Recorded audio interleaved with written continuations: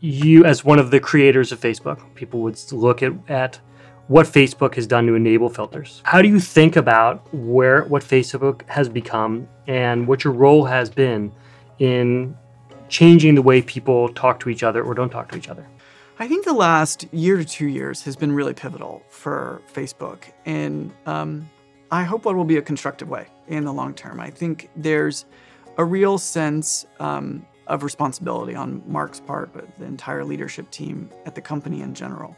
That you know, when you own and run the company uh, through which 80% of social messaging on the internet moves, you have a responsibility to make sure uh, that you know not only for privacy of users, the security of users, but also for the kinds of conversations that we're ha having in our country and globally to prevent hate speech, for instance, to have a responsibility around, you know, imminent threats and dangers, and certainly to make sure that foreign powers aren't interfering in our um, elections. So I think that there's no doubt Facebook has been used for all kinds of good things in the world, and it has been used for ill. There's no question. The, the moment that we're in, though, is about recognizing the responsibility that the platform has. I think Facebook has a social responsibility to break these filter bubbles. Is that part of there's, its job? There, I think there's no question.